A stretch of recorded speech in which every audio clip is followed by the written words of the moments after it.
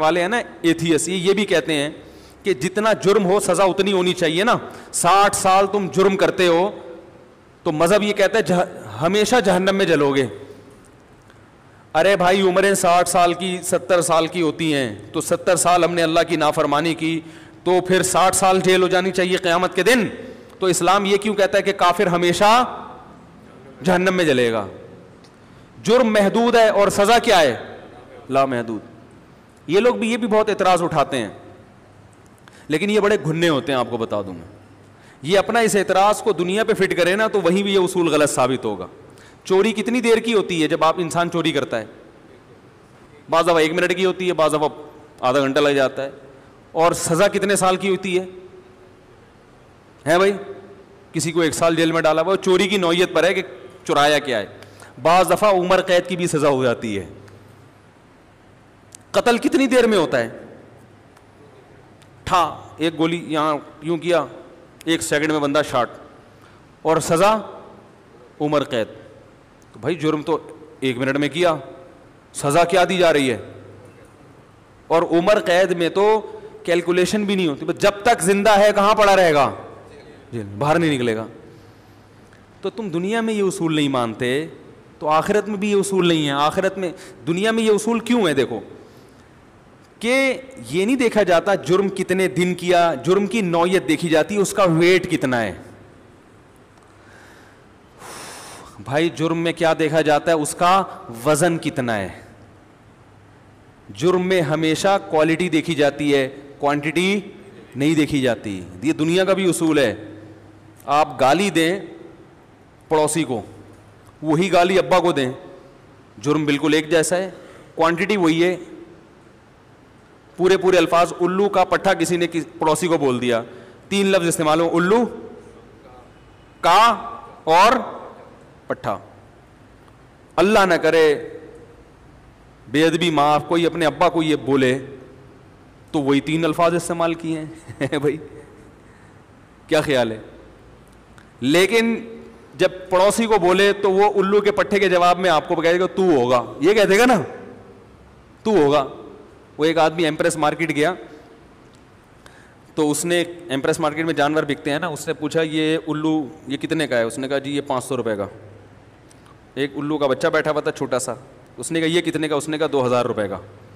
اس نے کہا یار وہ پانچ سو کا اور بچہ دو ہزار روپے کا، یہ کیا؟ اس نے کہا یہ وہ صرف الو ہے۔ یہ الو کے ساتھ ساتھ الو کا پٹھا بھی ہے۔ یہ الو کے ساتھ ساتھ اس میں دو کوالٹیز ہیں۔ ٹھیک ہے نا؟ تو بالکل ایک ہی نوعیت کی گالی ہے، مگر اس کا ویٹ کیا ہو گیا ہے؟ بڑھ گیا ہے۔ تو بھائی دیکھو، آپ جب جرم کرتے ہو، حکومت کا، اس کا، اس کی نوعیت الگ ہوتی ہے۔ یعنی شخصیات سے ویٹ میں فرق پڑتا ہے کہ کس کی نافرمانی ہو رہی ہے۔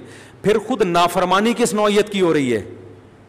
دیکھو، میں دو مثالوں سے بات سمجھاتا ہوں آپ کو ایک تو یہ کہ آپ نے گالی دی ابا کو۔ اس سے بھی فرق پڑے گا۔ وہی گالی دی پڑوسی کو۔ ویٹ کیا ہو جائے گا؟ کم۔ شخصیت بدلنے سے کیا ہو رہا ہے؟ جرم ایک ہی ہے۔ لیکن وزن بڑھ رہا ہے کہ کس کی نافرمانی ہو رہی ہے؟ کس کو برا بلا کہا جا رہا ہے؟ دوسرا، بعض دفعہ شخصیت ایک ہی ہے۔ لیکن نافرمانی جس نوعیت کی ہو رہی ہے، اس میں فرق ہے۔ جا ذرا ایک درجن انڈے لیا ٹھیک ہے نا؟ آپ بھول گئے، کوئی بانس نہیں، ابا کہیں گے، تھوڑا سا ابا سلواتیں سنا دیں گے، یار تو ہر وقت بھولتا ہی رہتا ہے یار۔ ہمیں تو تمہاری اماں جب بھی کہتی تھی، درجن انڈے لے کر آؤ، ہم تو احتیاطاً دو درجن لے آیا کرتے تھے۔ ہیں اچھا تیری بیوی آ کے تجھے سدھارے گی، ایسے کہتے ہیں نا ابا۔ ہمیں پتا ہے تو اب ہماری نہیں مان رہا، تیری ایسے دو چار سنائیں گے، ختم ہو جائے گی بات۔ لیکن ابا بیمار پڑے ہوئے ہیں، ابا نے کہا، فوراً ایمبولینس لے کر آؤ۔ مجھے اٹیک ہوا ہوا ہے۔ آپ بھول گئے۔ ابا چھوڑے گا؟ دوسرا اٹیک ابا کو ہوگا۔ یہ سن کے کہ میرا بیٹا ایمبولینس لانا۔ حالانکہ شخصیت، بولو بھائی، ایک ہی اور آسان مثال۔ آپ نے، آپ کے ابا نے آپ سے کہا کہ بیٹا یہ کر دو، یہ پانی لے آؤ، یہ کر دو، آپ بھول گئے یا آپ نے کہا چھوڑو ابا۔ ایک دن آپ کے ابا نے آپ سے کہا کہ بیٹا تمہیں پتا ہے، میں تمہارا ابا ہوں، میرا احترام کیا کرو۔ آپ نے کہا ایکچولی مجھے ابھی تک دلائل کی دنیا میں اطمینان نہیں ہوا کہ آپ میرے ابا ہیں بھی یا نہیں ہیں۔ میں کنفرم نہیں ہے۔ میں اس میں کنفیوزڈ ہوں۔ اب اس کا علاج دو چار تھپڑ نہیں ہے۔ ابا فوراً جنگ اخبار سے رابطہ کرے گا کہ میں نے اس بیٹے کو اپنی جائیداد سے آگ کر دیا۔ اب آپ جتنی مرضی نیکیاں کرو۔ آپ صبح و شام ابا کے پاؤں دباؤ، سجدے کرنا شروع کر دو۔ ابا کہیں گے، تجھے جائیداد میں حصہ نہیں ملے گا۔ دفاع ہو جائے یہاں سے۔ آپ کہ میں اتنا اچھا اتنی خدمت۔ آپ کہیں گے، جب تک اپنے جرم سے توبہ نہیں کرے گا نا، مجھے ابا نہیں مانے گا۔ بلکہ دنیا کا جو ابا ہوگا نا، وہ تو کہے گا، اب تیری توبہ بھی قبول نہیں ہے۔ تو اللہ غفور رحیم ہے جو کہہ رہے، چل مان لے۔ اب اللہ مان لے مجھے۔ تو میرے بھائی، جیسے ابا اور پڑوسی کے جرم میں فرق اسی طرح ابا کے ساتھ دو مختلف جرائم کی نوعیت میں فرق۔ تو ایسے ہی یاد رکھو، ایک جرم وہ ہے جو آپ حکومت کا کرتے ہو یا انسان کو ستاتے ہو۔ اس سے اور اللہ کی نافرمانی میں زمین اور آسمان کا فرق ہے۔ جب اللہ آپ سے کہہ رہے کہ یہ کرو، آپ نہیں کر رہے۔ اللہ کہہ رہے فجر کی نماز پڑھو۔ آپ کہہ رہے ہو، نہیں پڑھوں گا۔ اللہ کہہ رہے ظہر پڑھو۔ آپ کہہ رہے ہو، نہیں پڑھوں گا۔ اللہ کہہ رہے رمضان کے ایک مہینے کے روزے رکھو۔ آپ کہہ رہے ہو، نہیں رکھوں گا۔ یہ ہلکا جرم نہیں ہے۔ اس کو آپ ہلکا سمجھ رہے ہو۔ اللہ اس کو ہلکا نہیں سمجھ رہا۔ اللہ کہہ رہے تمہارا باپ، تمہاری ماں، تمہارا پڑوسی، ان کے احکام کو تم اگر ٹھکراتے ہو، اس کی نوعیت الگ ہے۔ میرے آرڈر کو ٹھکراتے ہو تم، جیسے اللہ کی ذات بڑی، تو اس کے حکم کو ٹھکرانا کا کی نوعیت بھی اتنی ہی وزنی ہے۔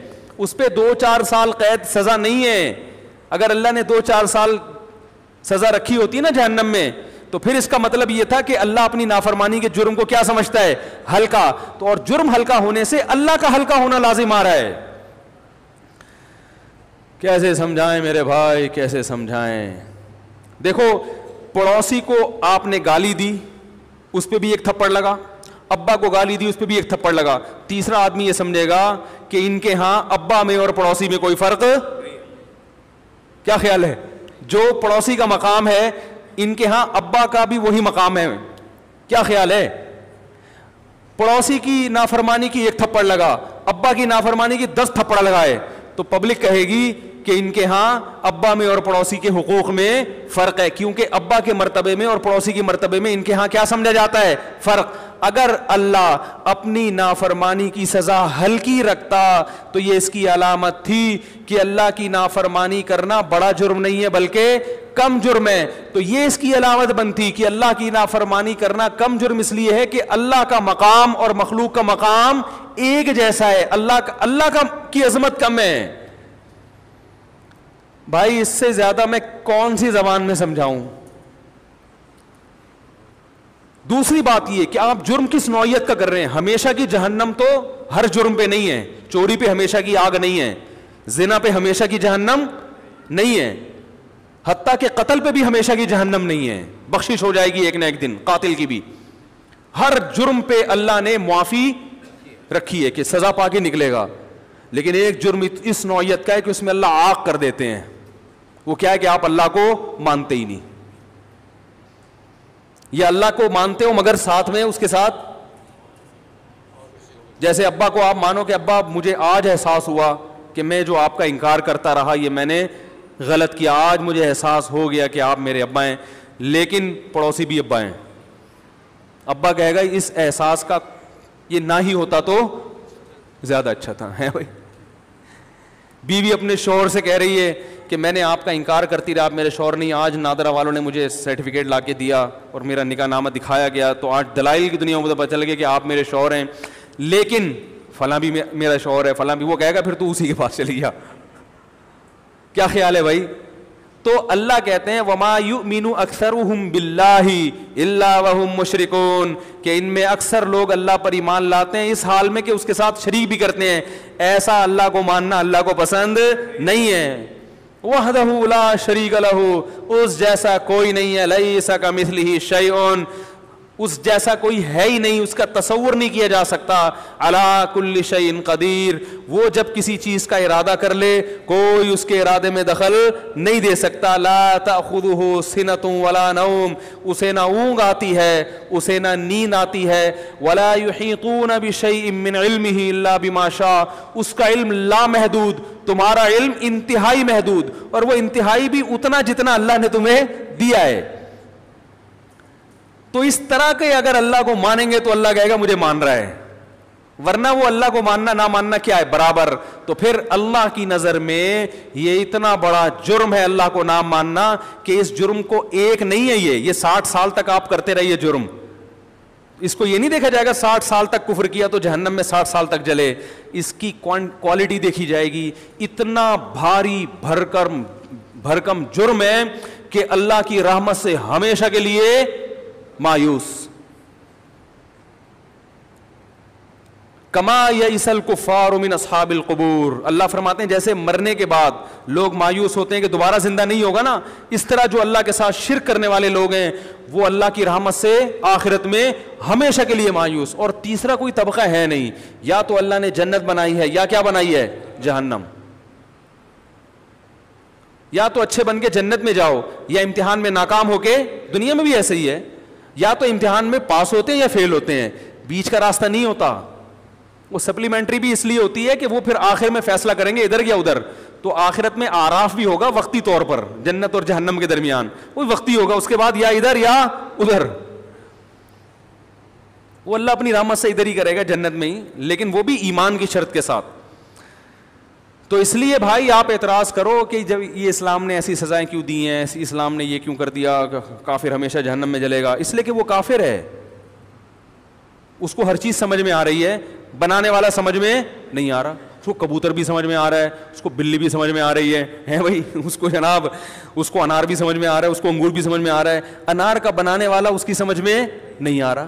اپنے مطلب کی چیزیں ساری سمجھ میں آ رہی ہیں۔ جہاں اپنی خواہشات کو قربان کرنا پڑتا ہے وہ چیزیں اس کی سمجھ میں اس لیے نہیں آ رہی کہ اس پہ سوچنے کے لیے تیار ہی نہیں ہے آپ کسی جنگل میں پڑے ہوئے ہیں، صحرا میں کوئی کھلانے والا نہیں، کوئی پلانے والا نہیں۔ ایک آدمی احسان کرتا ہے، جب آپ کی آنکھ لگتی ہے، انگور رکھ کے چلا جاتا ہے۔ آپ کی آنکھ کھلتی ہے، آپ کہتے ہو یار، زبردست انتظام، انگور کھا لیے۔ تھوڑی دیر میں آنکھ لگتی آتا ہے، کھانا رکھ کے چلا جاتا ہے۔ آپ اٹھتے اڑے کھانا آ گیا، کھانا کھا لیا آپ نے، پھر آنکھ لگ گئی۔ تو تھوڑے دنوں میں آپ کو خیال ہوگا نا، یار، یہ کون ہے؟ بھائی؟ اب ایک بندہ آپ کو نیند سے اٹھاتا ہے اور کہتا ہے کہ یہاں ایک صاحب رہتے ہیں جو آپ پر اتنے مہربان ہیں، انہوں نے آپ کو مرنے سے بچایا، قحط میں ہلاک ہونے سے بچایا، ہر تھوڑی دیر میں آپ کے لیے کچھ نہ کچھ رکھ کے جا رہے ہیں۔ تو چلو ان کا شکریہ ادا کر، اب جا رہے ہو تو شکریہ ہی ادا کر لو۔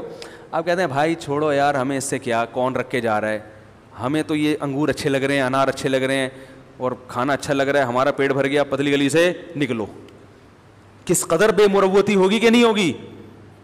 تو یہ جتنے اللہ کے نافرمان لوگ ہیں، انہیں انگور بھی اچھے لگتے ہیں، انہیں آم کے موسم میں آم بھی اچھا لگتا ہے، خربوزے بھی شوق سے کھاتے ہیں، دودھ بھی شوق سے پیتے ہیں ہائی جینک چیزیں کھاتے ہیں یہ۔ صحیح سمجھ آ رہی ہے بات؟ یہ تو ایسی ایسی چیزیں کھاتے ہیں جو اللہ نے ایسا لگتا ہے صرف ان لوگوں کے لیے بنائی ہے غریب آدمی تو بیچارہ وہ دیکھ سکتا ہے ان کو۔